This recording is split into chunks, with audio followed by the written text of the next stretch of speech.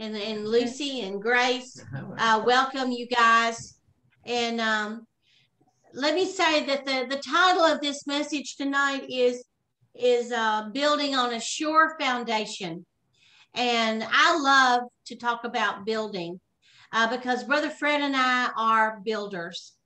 And my dad, in the natural realm, my dad, who's 95, was a, a master carpenter uh, for over 40 years. And I'm used to seeing, you know, uh, eating supper and then clearing the dishes. And he would put the blueprints of a of a house he was working on or a building he was working in, and and he would um, show me different things on the blueprint, and then he would even take me with him to uh, inspect work uh, that was being done on different projects, and and I just um, I love to see houses going up and buildings going up and and uh, the workers on the roof. Uh, and so um, it's very important that any type of building have a firm foundation. Otherwise, it is not a, a, a sturdy building. And so the foundation is very important. And, uh, and so that's what Brother Fred is going to uh, talk to us about tonight. And so I'm going to turn it over to him. Okay, we're going to talk about the foundation, as Sherry said, and and this comes from Hebrews chapter six, verses one through three. And I'm going to ask Sherry to uh, read these verses. I believe this is the New American Standard. New American Standard. Excuse me. Therefore, leaving the discussion of elementary principles of Christ, let us go on into perfection not laying again the foundation of repentance from dead works and of faith toward God. Verse 2 of the doctrine of baptisms and of laying on of hands, of resurrection of the dead, of eternal judgment. Verse 3 and this we will do if God permits. Okay, this is a very interesting and a very important concept of the foundation that we have to build. There are two really important things I want to say is that we have to build a foundation. We there has to be a foundation in your life. And the foundation's just the beginning. It, it's not the final house. And, and mm. you are being built into a house. And yes, uh, Jude talks about building yourself up on your most holy faith. faith. And so uh, what what we're seeing here in this passage is you have to have a foundation in your life. And if the foundation is not uh, lined up with the Jesus Christ, who is the chief cornerstone, and with the Word of God, then you're you're not permitted to go on to build the house. Otherwise, it would it would fall. Uh, certainly in Matthew chapter seven, Jesus talks about building the house. What? How are you going to build the house? It has to be on the solid rock and on a sound foundation. Uh, but it's not to end there. The foundation is something that we don't see. It's mm. it's something underground, and the house is built on top of it. And we look at the house and how wonderful the house looks, and think about your lives and how you're building them up. Uh, and that's all important. So you have to have that foundation. So the foundation has to be there, but that's not the end of the story. You have to go beyond the foundation. And, and so, uh, but the third verse here makes a very interesting point. It says, if God permits. So if you're building a house, uh, your city will have a permit system and they'll come out and mm, inspect, inspect. your uh, foundation, see whether or not you can build on it. And then as you begin to build, they will continue uh, and, and, issuing permits that you can continue. And you, if you don't have the firm foundation, you don't get the permit to build the house. Yeah. Uh, and so God has his own permit system, uh, just like your city has a permit system.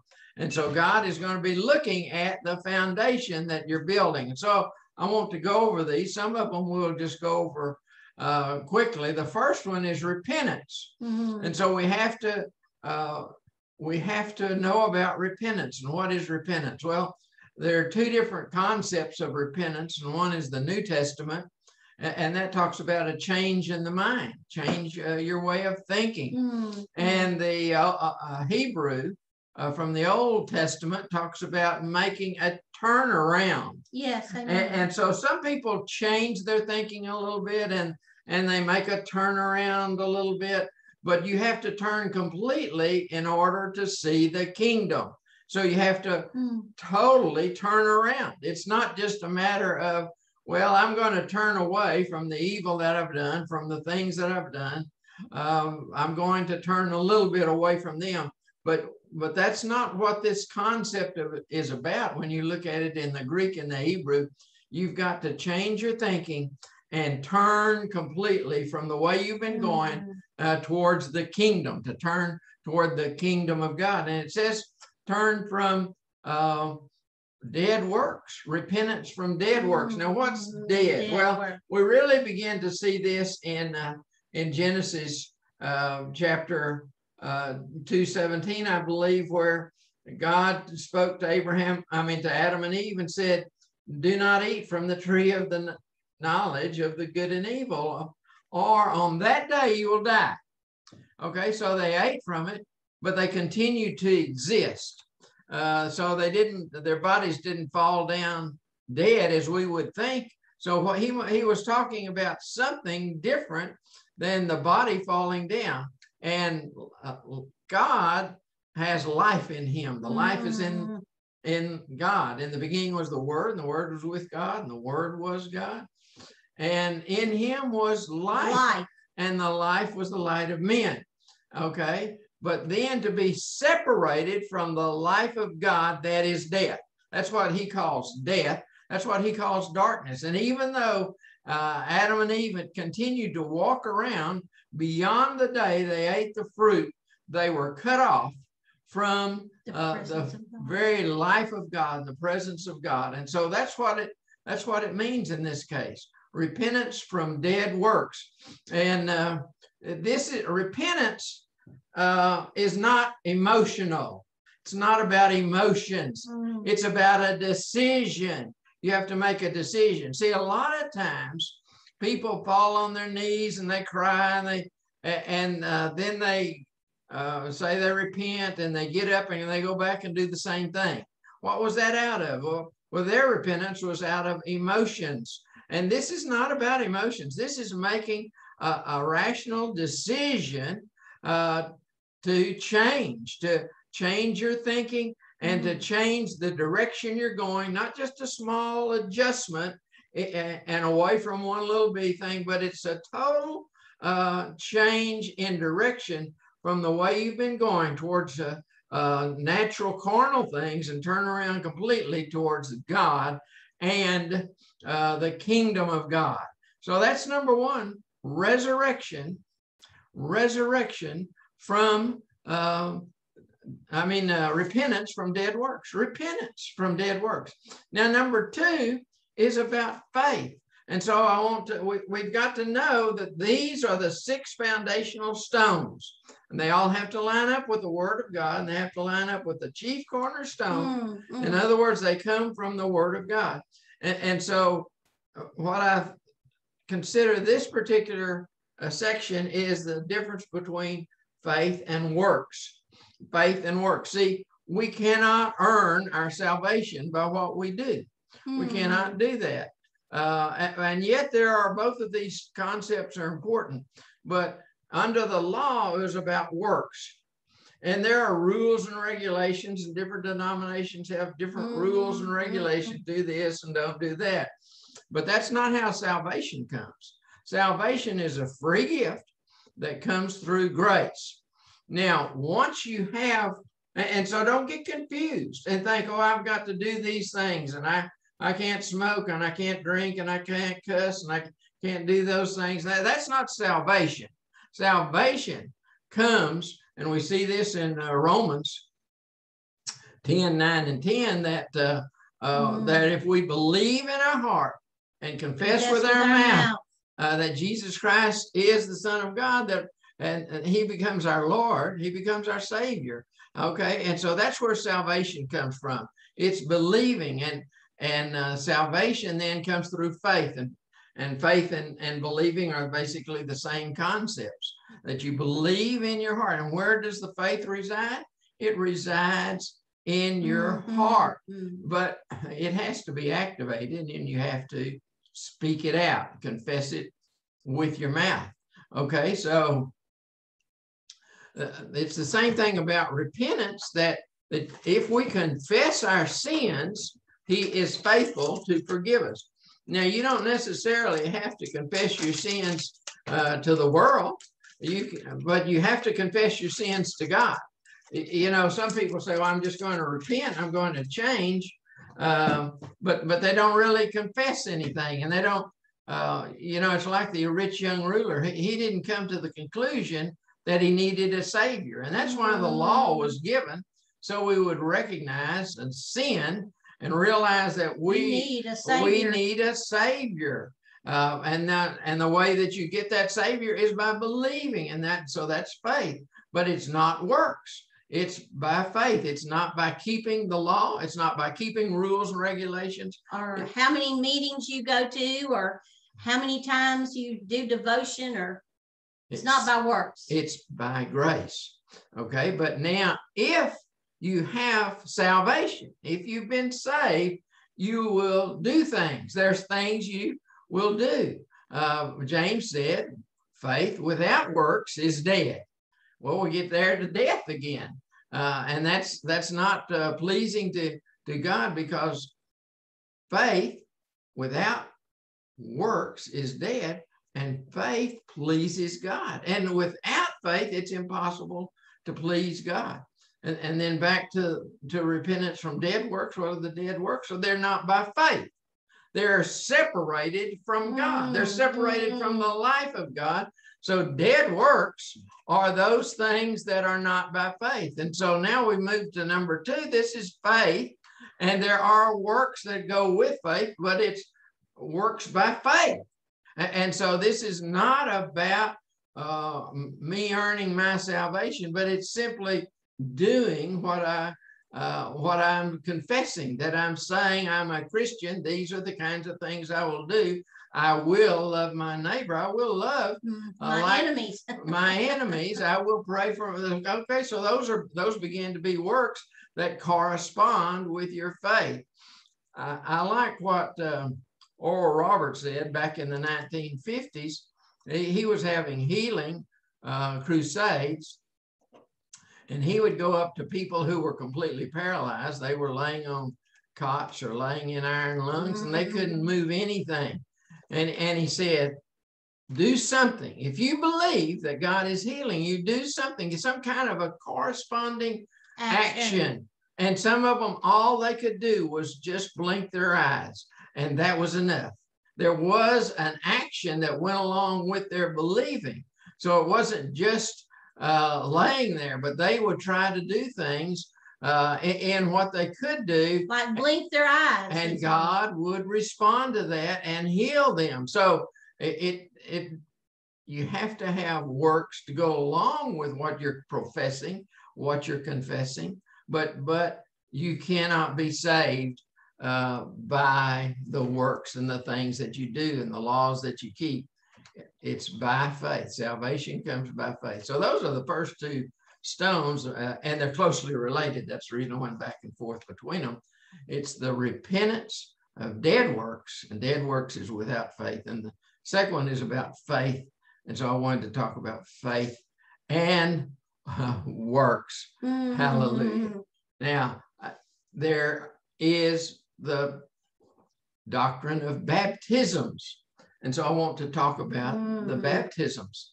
And then the New Testament talks about three different baptisms. And the first one was John the Baptist, and he was called the Baptist because he mm-hmm. baptized. And, and so his was a baptism of repentance. Oh, that's what we were mm-hmm. just been talking about. Hallelujah. It was a it was a baptism of repentance, and he baptized them in water. But he said, "You bring forth the fruit, fruit of, repentance. of repentance." So if you've repented, there should be some fruit. fruit. Now, what is the fruit? Well, you're going to do something different. You've been going down one path, and now you're going to change your way of thinking. You're going to begin thinking of the thoughts that, that God thinks, and you're going to turn around so that you're facing the kingdom and moving towards the kingdom. And he said, you come with fruit of repentance. And so all three of these first uh, uh, foundational elements, they're all interrelated.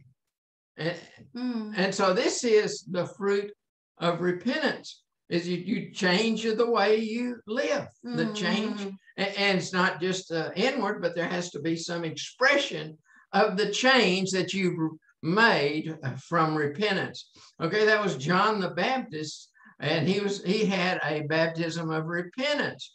But when jesus came and and uh, he had the resurrection he had his uh, crucifixion and death uh, burial and resurrection then things changed. And then acts 19 uh, we, we encounter the baptism of john again. And it turns out that some men had been baptized into the baptism of John, which was the baptism of repentance, basically changing what they were doing. Uh, and but that wasn't sufficient. They had to be baptized uh, when the baptism of Jesus and and going into the water. Uh, that's a representation of the of death, and then coming out of it is coming up into new life. And so that's a different baptism. There's a baptism of John of repentance, but then the second one in the New Testament is a baptism into uh, into the water, and then there is a baptism into the Holy Spirit. Woo, so, sorry. so we're baptized uh, in the Holy Spirit uh, into the body of Christ. And so the three baptisms, and that's the reason that the word baptism had, was plural mm. here in this passage that Sherry read about. Mm-hmm. Uh, it's the doctrine of baptisms, and, we don't do the uh, uh, baptism of John anymore, even though it was in the New Testament, because it was a transition. See, John was in transition from the yeah, Old Testament and into the New uh, Testament, and, and he was uh, preparing the way for Jesus. And so, so we see there in Acts 19 that the baptism of John uh, into repentance is not sufficient. We need the baptism of water that wash that uh, symbolizes our death, death. and burial, and, and, then the resurrection into the new life, and that's the new life. And so mm-hmm. we are, are baptized uh, into death, burial, and resurrection in the new life, and then we come and live in the newness of life.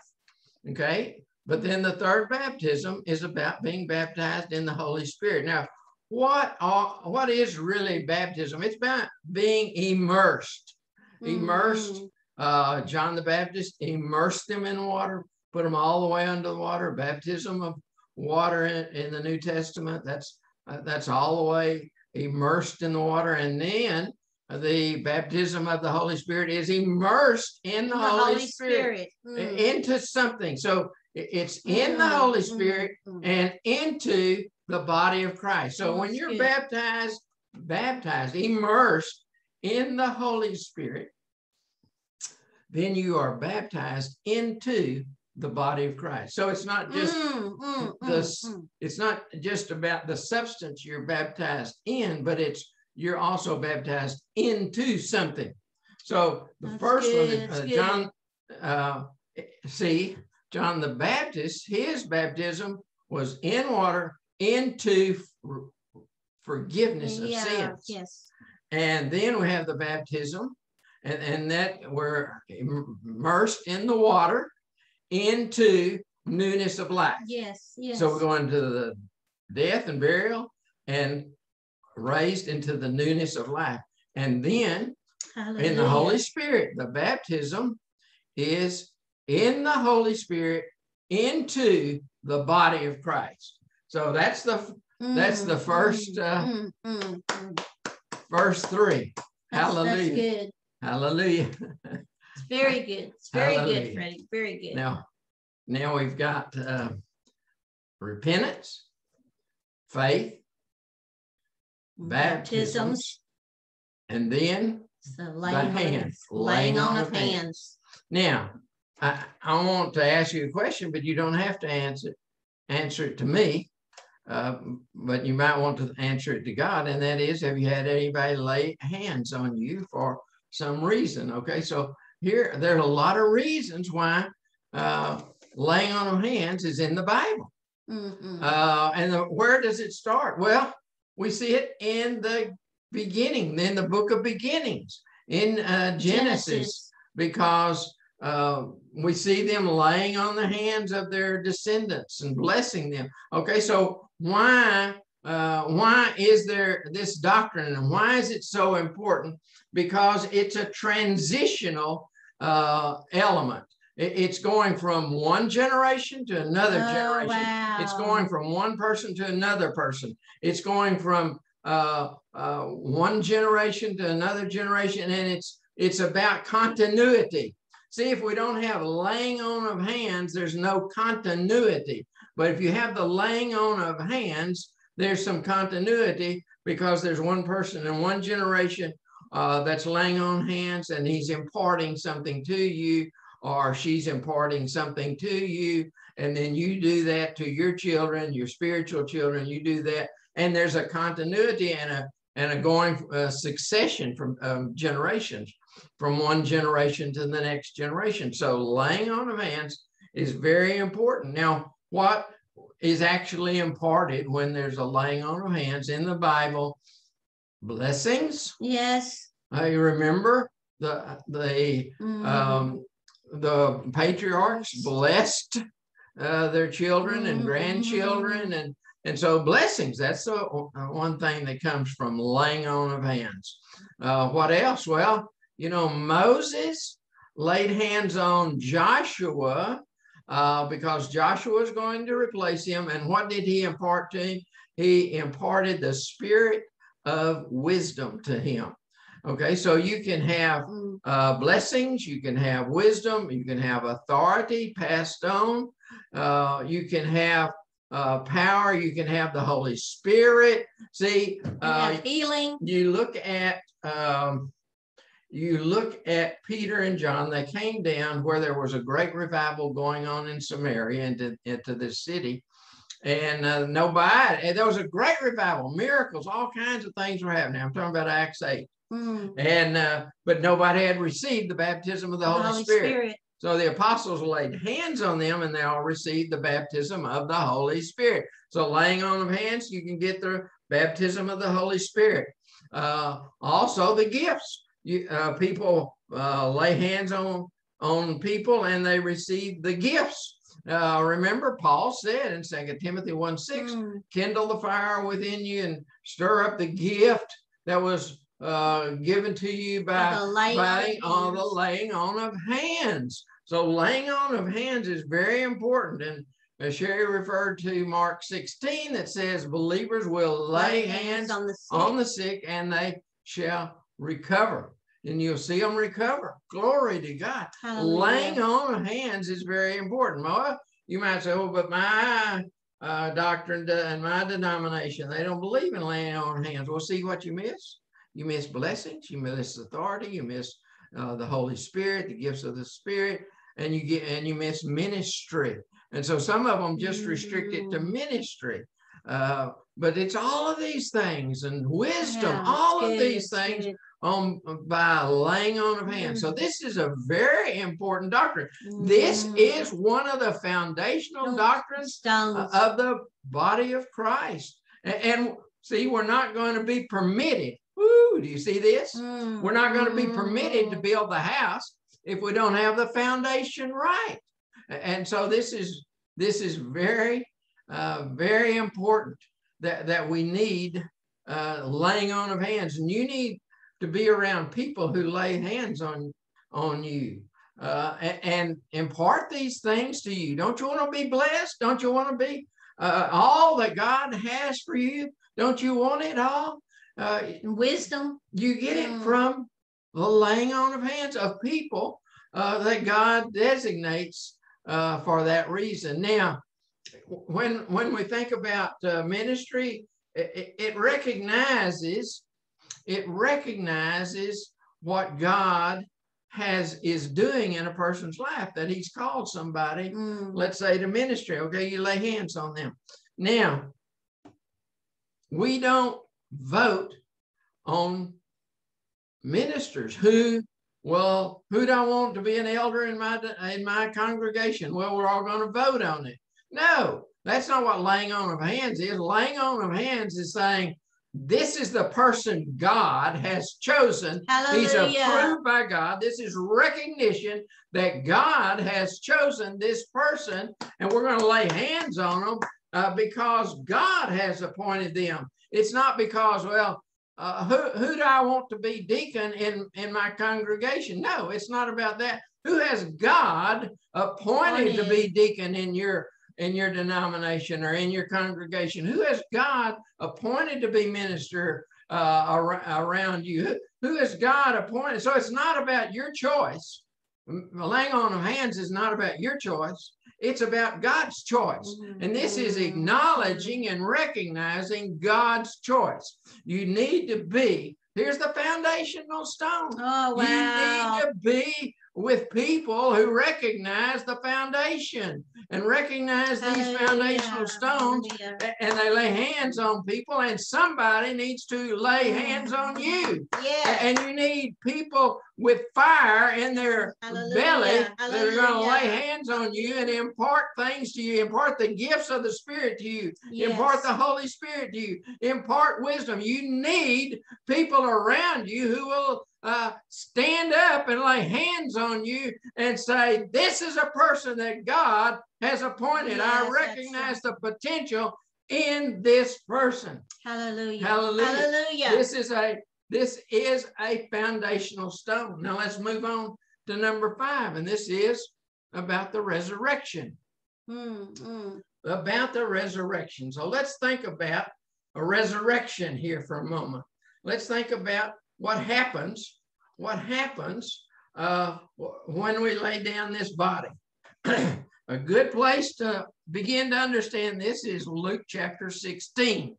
Luke chapter 16, this is not a parable. Jesus said uh, there was a rich man and there was a beggar, and the beggar's name was Lazarus, and, and they both died, and the angels uh, carried uh, one of them one place and one to the other, and there were two places. A- And and uh, the, the rich man lifted up his eyes and he saw Lazarus, and the rich man knew that he was being tormented, and he asked Abraham because Lazarus was in Abraham's bosom, and so he asked uh, Abraham if he would send Lazarus down there just to dip his uh, finger in the water and go down there and put it on his tongue. Okay, so there's several important concepts here about death. And one Mm, i- is that they still had the same personalities, they still had the same identities. They did not lose their Mm, mm. identity because they had passed on Oh, into the next realm. Wow, wow. There was also a separation between the righteous and the unrighteous. Oh. And, and there was a recognition of who was being tormented and who was being comforted. And, Mm. and they could see that and they could they could remember the things in the past and, and they and they could recognize people that he recognized uh, Abraham and he recognized Lazarus, the rich man did.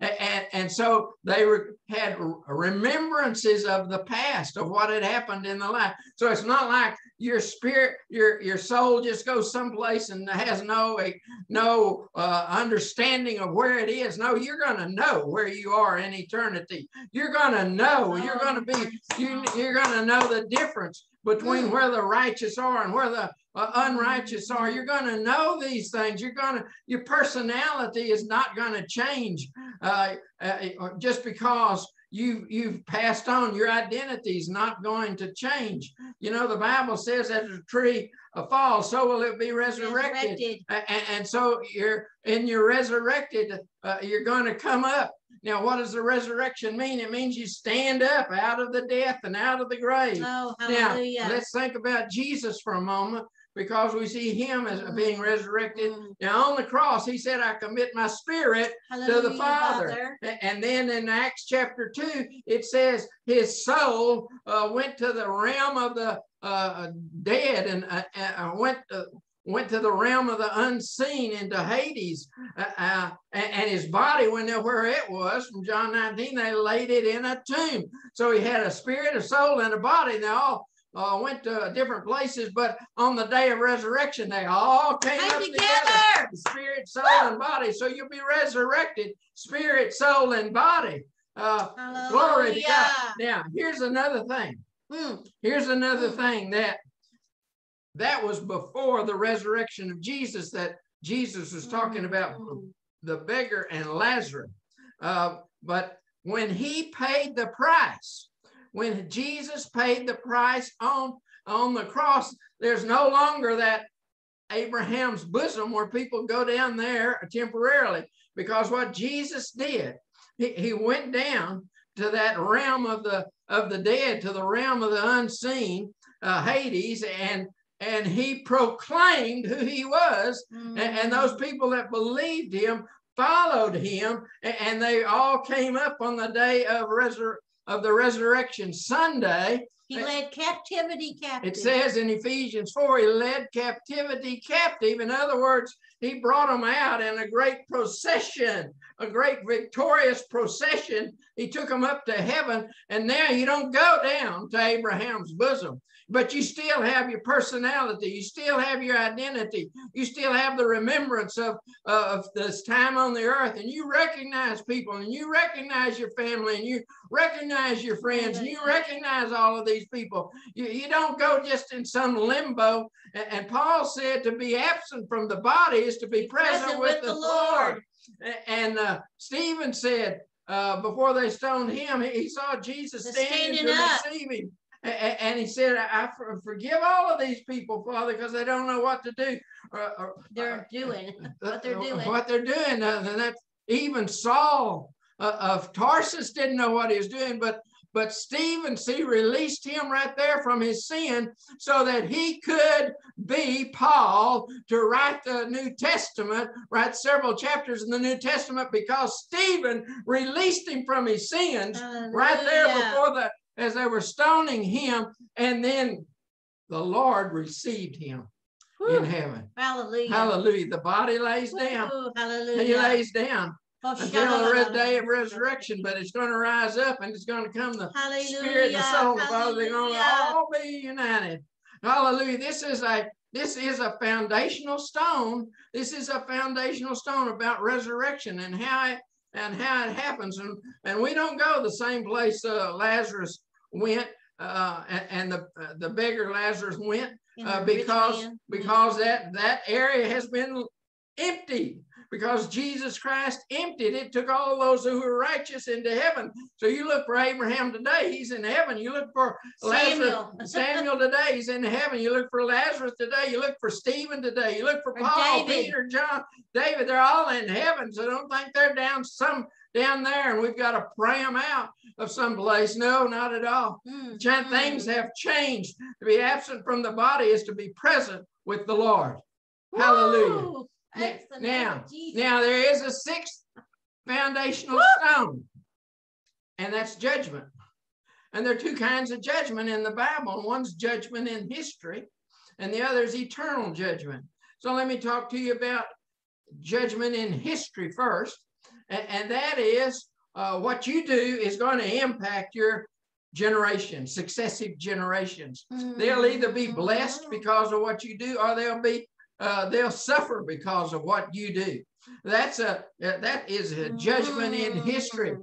because uh, uh, God said uh, for, for, three or four generations the the iniquities of the fathers will be visited on their children and their children's children mm-hmm uh, three and four generations, but the righteous will be blessed for a thousand generations, uh, a thousand generations. And so you stand up in righteousness, and, and a thousand generations after you will be blessed because of you. That's that's judgment in history, but there's also a judgment uh, in eternity, an eternal judgment. You know, an angel stood up, I believe it was Revelation 10 one time, and said, Time is no more.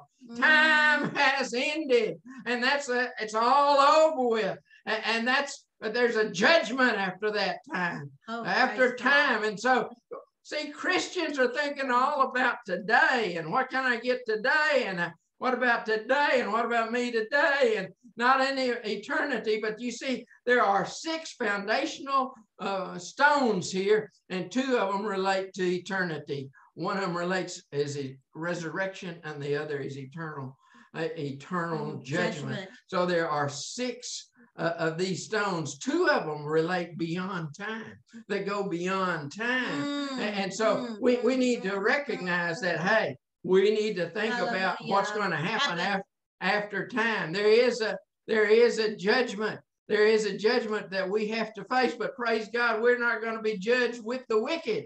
We're going to stand before before Jesus, Jesus. Christ and, and we're going to be judged at his judgment throne the throne of judgment, not not at the throne where oh, not where the wicked. I don't want to stand with the wicked on the day of judgment. We'll be we'll be in another place. We'll be judged by Christ uh, at, at His uh, the throne of Christ, and that's where we want to be. There is an eternal judgment, let me tell you, you've got to make a decision today because it's going to impact it's going to impact where you spend eternity. And let me tell you, there, there are not three alternatives. There are only two alternatives, either the righteous or the wicked. Only the righteous or the wicked. There's not something in between. There's not something, oh, uh, 90, I got it, I got it right 99% of the time. No, you've got to, you've got to have it right. You, you the righteous are the righteous and then they're not 99% righteous. They are the righteous, and they're going to stand and spend eternity with the Lord Jesus Christ. Amen. You- Amen. We've amen. got to understand these foundational stones and build on them and have our life built on them in order for God to permit us to build the house. Hallelujah. Hallelujah. Hallelujah.